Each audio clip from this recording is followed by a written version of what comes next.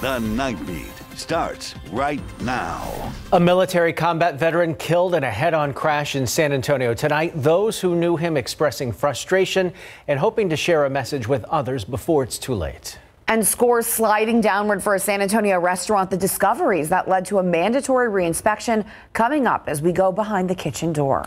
And shots fired at our KSAT 12 news team, then at police. The suspect's final encounter with officers coming up. But first. Thank you.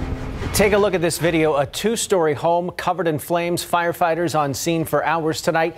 This is near Alamo Ranch and Alamo Parkway over on the far west side. One of our producers was able to send in this video as firefighters fought flames in the rain. A lightning strike suspected of starting this fire around 6 this evening. Firefighters say someone heard thunder before seeing a flash and the power going out to the home. Smoke detectors then went off, and that's when everyone managed to get out of that home.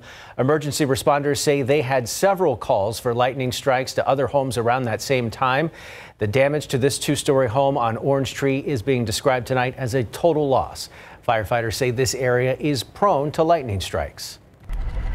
Let's take a live look outside tonight. Live cam along I 10. Looking nice. This wasn't always the case around San Antonio. There was some rain earlier. Um, actually, some rain right out here right now. Yeah, and the rain expected to continue tonight and into tomorrow and the next several days. Adam Caskey, we're checking in with you. But first, we want to get back to that lightning strike. You you were able to look up exactly where that happened with our technology. Here. Yeah, I've got a pretty good idea of exactly which lightning bolt it was that was uh, most likely responsible for that uh, fire. And unfortunately, when we often see a lot of lightning. We get some power outages and periodically some attic fires and house fires. So this is the radar from earlier today, close to when that house fire began. Notice 6:30 p.m. starts at 5:45. We're looking at the area of Alamo Ranch, Alamo Ranch Parkway right here, and it's this bolt that hit at about 5:59 p.m. that I suspect is responsible for that fire and I'm just isolating it right there, flashing it on the screen. It's about 1.4 miles to the southwest as a crow flies from Taft High School. I believe that would have been the lightning bolt responsible for that house fire. Right now, the light rain is moving out, it's tapering off, and there's still some activity. It's just south of San Antonio. Moderate rain showers throughout Atascosa County. Good soaking rain there. That's some good, positive, beneficial rain. Some heavier showers, DeWitt County and uh, or Dimmitt County, and then along I-35, Pearsall, Dilley down toward Cotulla. Still some lightning associated with that activity. If you missed out on the rain today, you have more opportunities, especially tomorrow. We're going to talk about that in detail and these rain chances for the rest of the week coming right up. Incredible technology you have there. Thank you, Adam, for that explanation. New details released in that deadly shooting at a nail salon this afternoon. The suspected shooter has been identified as 42 year old Kiet Nguyen. A mugshot has not been released yet, but we know he faces charges of murder and aggravated assault with a deadly weapon. Officers say an argument began inside the nail salon on Blanco Road near Parliament before spilling outside, then ending in gunfire. One man was killed. His identity has not been released yet. Police found Nguyen near Loop 410 and Blanco. He spent 10 years serving his country as a combat veteran, only to lose his life at home in a violent crash. 33 year old Jose Luna was killed when a white truck hit him head on.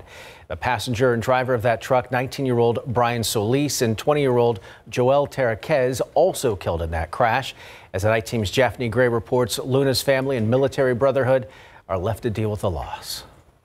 Corazón ahorita está roto. My heart's está broken. It's in pieces.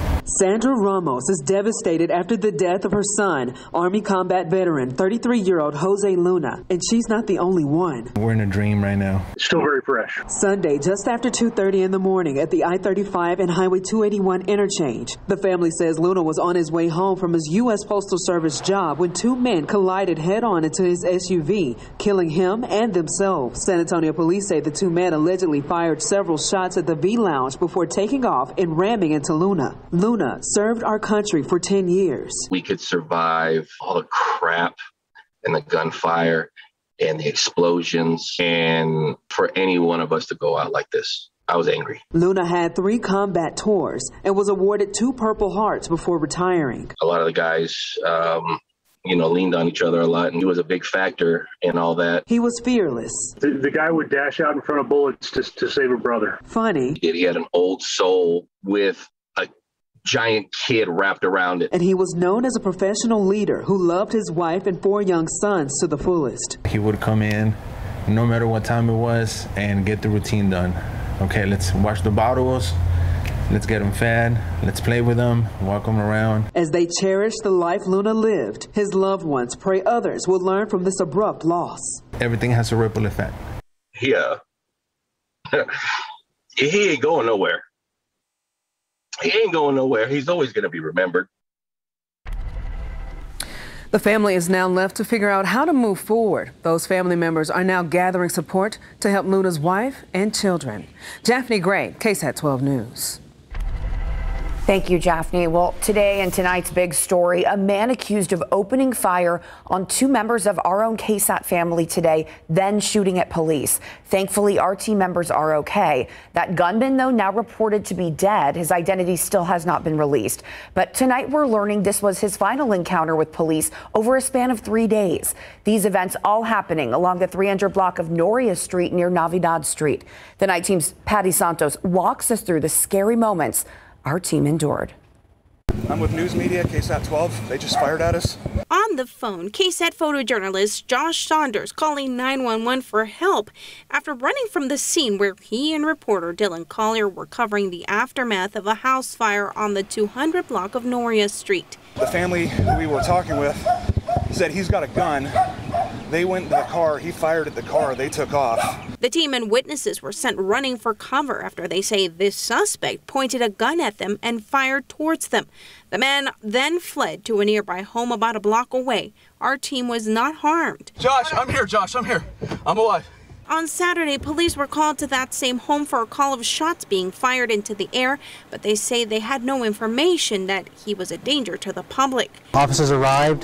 They uh, attempted to contact him, but they were unable to. Officers remained in the area for the next few hours on Saturday. On Sunday, fire crews were called back to the home following a suspicious fire where shell casings were found. Police showed up around 11 a.m. Monday after the suspect began firing at his family and our crew. He was seen running to a nearby property. Everyone inside was able to get out safely, and officers had him surrounded. This was a plan to keep him locked out of the house to make it easier for us to apprehend him. But he saw the officers at the door, started shooting at them through the door, and again, five officers returned fire. The man died at the scene. His name hasn't been released. Five officers are on administrative leave. And neighbors tell us there has been some ongoing feud between family members and that suspect at that home. Um, police also say the suspect had some prior encounters with law enforcement. Uh, Tim? Thank you, Patty. A car crash taking out the wall of a well known business on the St. Mary's Strip. Police now say the driver and passenger who plowed into Sings in the early morning hours of July 4th were, quote, uncooperative and belligerent, end quote. The man suspected of being behind the wheel identified as 26 year old Joey Rodriguez. Police say he was taken to the hospital where he was said to be in possession of drugs. He is expected to face some charges. The other man, 26 year old Jesus Lasoya, was treated at the scene and arrested for public intoxication. To the latest now on the search for survivors after the building collapsed 12 days ago in Florida. Officials say they have removed nearly 5 million pounds of debris and are now able to reach parts of the rubble that were previously inaccessible. ABC's Marcy Gonzalez tracking the latest. In the rubble in Surfside, Florida, another heartbreaking discovery. Search and rescue crews finding the body of a 28th victim. The team having to pause for lightning, but otherwise working around the clock through torrential rain and strong winds as the outer bands of Tropical Storm Elsa reach South Florida. I'm in awe of the men and women of, of the USAR task force teams who've been continuing to brave dangerous and changing conditions. The search efforts now finally at full capacity now that the section of Champlain Towers South that was left standing has been demolished, making it possible for rescuers to reach areas that were too dangerous to access before. Uh, the heavy equipment is now able to move around the site as needed. Uh, the looming threat of that building, um, the dangerous um, situation where debris could fall down is now eliminated. The new access fueling hope for some of the families of the 117 people who remain missing nearly two weeks after the collapse, with officials saying the search will continue 24 hours a day until every single person is accounted for. I pray for the other families that someone, any of us, can have some kind of miracle that maybe someone can still be alive underneath there. Marcy Gonzalez, ABC News, Los Angeles. Back here at home, it is a renewed effort built on trust, a centralized location to help those experiencing homelessness here in San Antonio. The new Corazon Day Center and Resource Hub is at 504 Avenue E on the campus of Grace Lutheran Church. The center and the city now teaming up to help. Marjorie White serves as the homeless administrator for the city of San Antonio's Department of Human Services. We know folks are going to come in for food. That's an opportunity for engagement. That's an opportunity to assess their needs, talk to them, build rapport, build trust, figure out what are their goals and how we can help them achieve it. Along with meals, case managers, and a place to shower will be made available at that hub. People can also receive access to various forms of transitional housing. The facility will officially open on Thursday. Still ahead on the night beat, some dangerous moments caught on camera as fireworks celebration take a wild turn. Those videos, plus a look at what a fireless fireworks celebration looks like. That's coming up. And we go behind the kitchen door of one Mexican restaurant, what health inspectors uncovered. That's next on the night beat.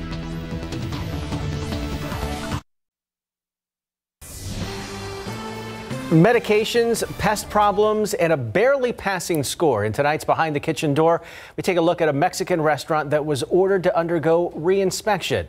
El Sabrosito de Jalisco Mexican restaurant is located on Naco Perrin Boulevard over on the city's northeast side. The restaurant had scores in the 90s and 80s in the past. In May, it barely passed with a score of 73.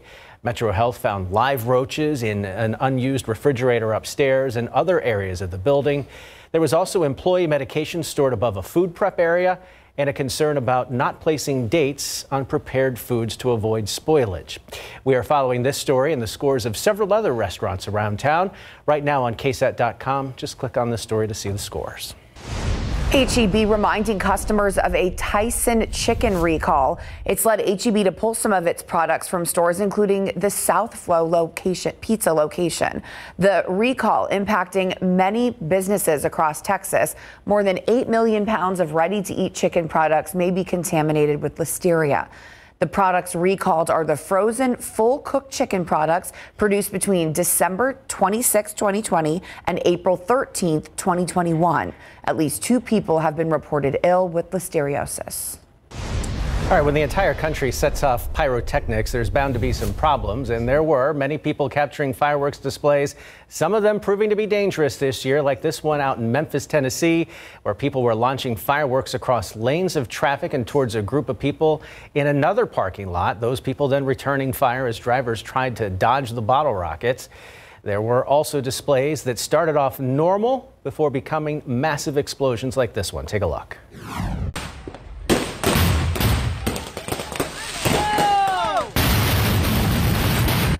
Yikes. Police in Ohio say stacks of fireworks piled up next to a rental truck were lit, setting off the explosions yesterday in Toledo.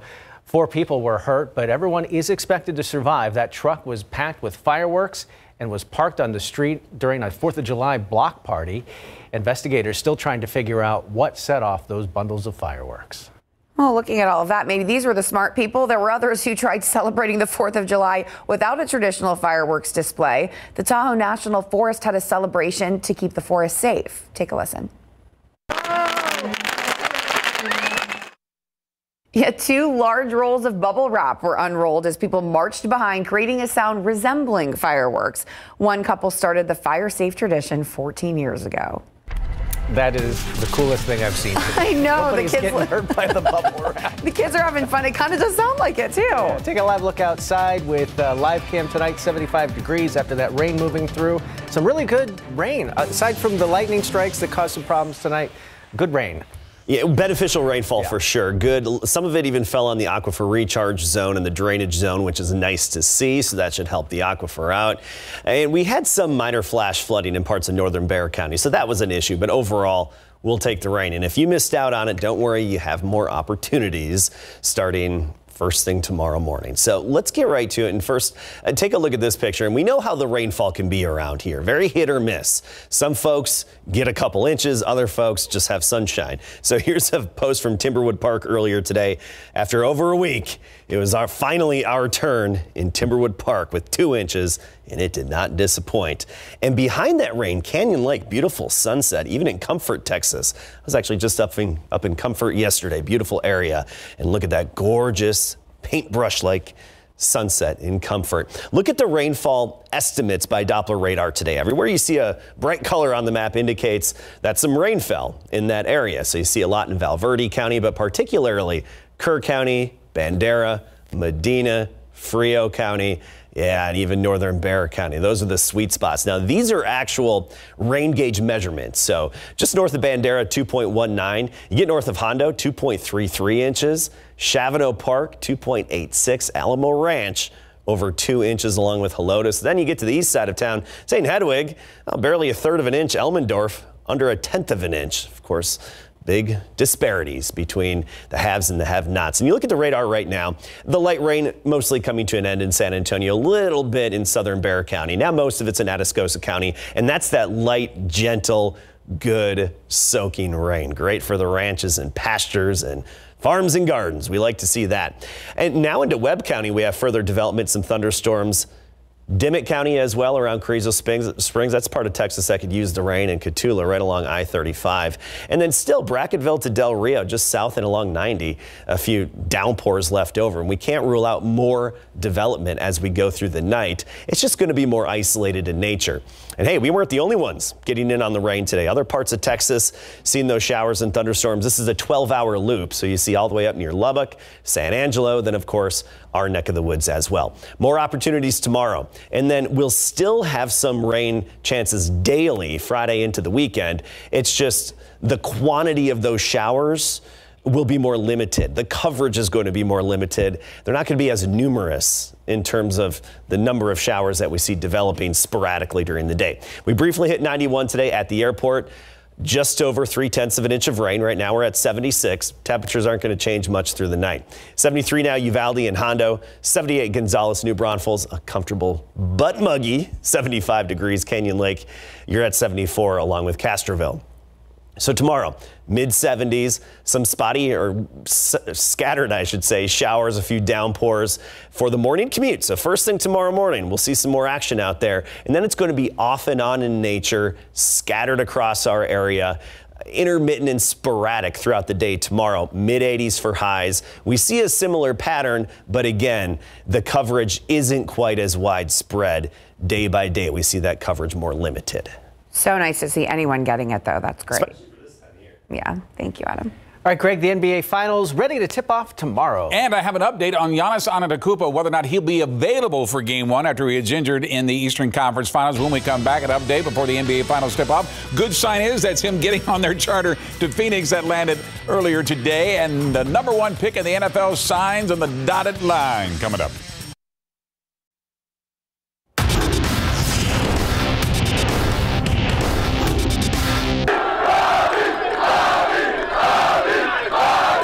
That is awesome. Reminding San Antonio fans of the Spurs' glory days. Fans in Milwaukee welcome home the Bucks at the airport as Eastern Conference Finals champions in big board sports. This is a good sign. If you're a Milwaukee fan, Giannis Antetokounmpo boarding the team charter for Phoenix today to tip off the NBA Finals tomorrow night. That's because Giannis has not played since Game 4 of the Eastern Conference Finals against Atlanta when he hyperextended his knee. Even without him, the Bucks were able to clinch the Eastern Conference Finals in Game 6 with a 118-107 victory to close out the series four games to two behind Khris Middleton and Jrue Holiday, combined for 59 points. Middleton came to life in the third quarter when he scored 23 of his 32 points, including 16 in a row. Now Milwaukee's headed to the NBA Finals for the first time since 1974 in search for their second NBA title in franchise history. The Greek Freak is now listed as doubtful for tomorrow's Game 1 of the NBA Finals, but is making progress. It was awesome. Again, I'm still kind of on this high, but man, I'm going to the finals. Um, it's just cool to think again as a little kid, man. This is like, this is what you watch the playoffs for. This is this is like all the moments that like I felt as a little kid watching TV. I lived them and, and, and went through them and now I get to go to the finals and see what this is about. So, uh, again, man, I'm just like I'm I'm, I'm ecstatic. The Phoenix Suns are in the finals for the first time since 1993, looking for their first ever NBA championship in franchise history, and will be five and a half point favorites in game one at home tomorrow night. One thing these two teams have in common is that their head coaches are a product of the Gregg Popovich coaching tree. Milwaukee's Mike Budenholzer was Pop's right hand man for a decade, and Monty Williams, who not only played for Pop, but also worked in the front office. Now they face off on the biggest stage the NBA has to offer. Unbelievably grateful for the blessings that I've received um, as a as a coach, um, working with people like Randy, getting to coach the players, moments like this, um, just out there on the floor talking to the a few of the guys, they were like trying to figure out the feelings we were all having, and um, I remember. You know, being in those moments when I was, you know, in San Antonio, it's hard to describe. And here's a look at the NBA Finals first four games. The first two will be in Phoenix starting tomorrow night. The second two will start on Sunday and Wednesday will be in Milwaukee. It's all live right here on KSAT 12. Pro football coverage, powered by Davis Law Firm. The number one draft pick in the NFL has finally agreed to his first ever professional contract. That's after Trevor Lawrence signed a five year contract worth nearly $37 million, with just over $24 million of that in a signing bonus that will be paid in 15 days. The fifth year is a team option, according to ESPN. It means the rookie quarterback is now set to join the Jacksonville Jaguars when they open training camp in three weeks. He's expected to be their starting quarterback after going 34 2 while at Clemson. The Dallas Cowboys kick off their training camp in California two weeks from tomorrow and over the next two weeks, we'll be revealing the top five priorities the Cowboys will have as they return to Oxnard following a 6 and 10 finish. The health of Dak Prescott will be primary as he returns to the field for the first time since his horrific ankle injury against the Giants last October. Since then, he has worked himself back just seven months after two surgeries to repair the compound fracture and dislocation, telling us he has buried the ankle issue on the weekend of Cinco de Mayo and asked the media to help put it behind him by stop asking about it. That said, all eyes will be on the franchise quarterback who signed a record four-year, $160 million deal that included a record $66 million signing bonus and an average salary of $40 million a year. The Cowboys report to training camp on July 20th, in KSAT 12 Sports will be there. The winningest coach in UCLA history, Terry Donahue, has passed away. Surrounded by his family, Donahue passed away at his home in Newport Beach following a two-year battle with cancer, according to the school. Donahue coached the Bruins from 1976 to 1995 with 98 conference wins, which is still the most in Pac 12 history. He's also became the first to win bowl games in seven consecutive seasons, including three Rose Bowl victories. Terry Donahue leaves us at the age of 77.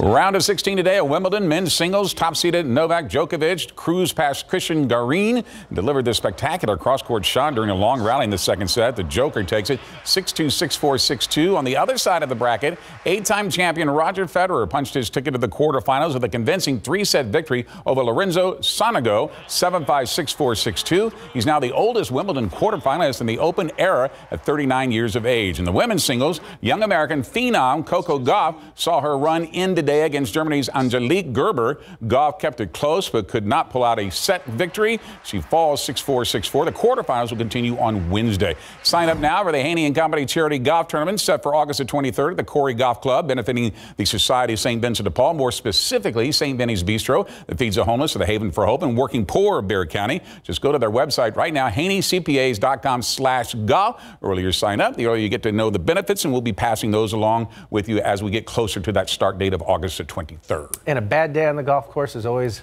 better than a good day at the office. Absolutely. Well said. You get a Monday off. What a deal. Thanks, Greg. sure. We'll be right back.